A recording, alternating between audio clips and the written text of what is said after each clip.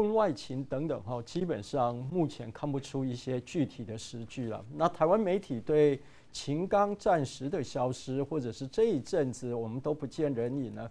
我们最近看到的他官方官网上的记录，最近一次的出访呢是五月时候的一个记录。嗯，那台湾媒体也的确众说纷纭啊。但是呢，我举个例子啊，这是自由时报的报道。我们现在如果到网站上去看这个报道的时候，已经找不到这个网页了。自由时报撤掉。自由时报怎么讲？讲得很耸动，涉及到了普京，也涉及到习近平，说秦刚涉及叛变。嗯，先不管说他有没有啊，秦刚有没有叛变的这样的实力跟可能啦，唯一的证据是什么？秦刚遭中国外交部官网除名，证据是说。主要官员的这个网页竟然看不到秦刚的名字，所以他是被官网除名了。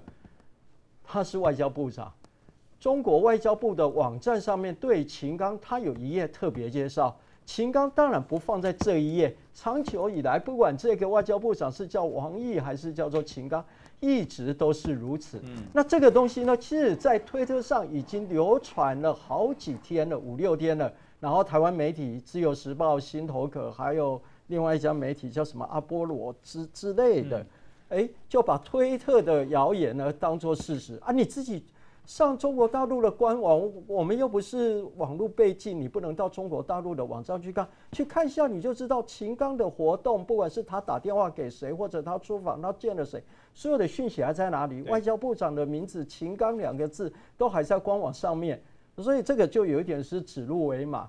那。中国大陆啊，基本上你会发现，它有一些官方说法，要不就他宁可不说。如果他说出来的话，他不能说谎，以免事后被打脸。那现在官方的说法是什么？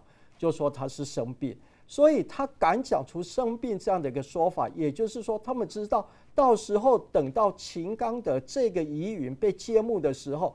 不会跟目前这样的一个生病的说法是冲突的。嗯，那中国大陆智库的朋友是说，他们所了解的是生病。那这个病是怎样的病？是不是像安倍啊第一次任首相的时候的那个身心病类似？因为各式各样的政治压力啊，个人的一个情况啊，所以造成身体有那个雪球的一个效应啊。